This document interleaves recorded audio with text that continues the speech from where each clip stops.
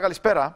Καλησπέρα, ε, Χρυσάφη. Ναι, γενικά σήμερα όλοι προσπαθούν να επιτοπλίστων να χωνέψουν το τι συνέβη. Ε, άλλοι το πίστεψαν και άλλοι ακόμα δεν το πίστεψαν. Και εκτιμούν τις θέσεις ξένων και Βρετανών πολιτικών. Ε, να πούμε ότι μετά το διάγγελμα του Πρωθυπουργού ακολούθησαν ε, διαγγέλματα και από τον Μπόρις Τζόνσον και από τον Μάικλ ε, Κόβ, οι οποίοι ήταν οι δύο ηγέτες της εκστρατείας για την έξοδο και αμφότεροι ε, ε, ε, επένεσαν τον Πρωθυπουργό για την αξιοπροπή του και την ανδρεία του να προχωρήσει με το δημοψήφισμα αλλά και για την παρέτησή του και ότι θα μείνει στην ιστορία ως ένας μεγάλος Πρωθυπουργός.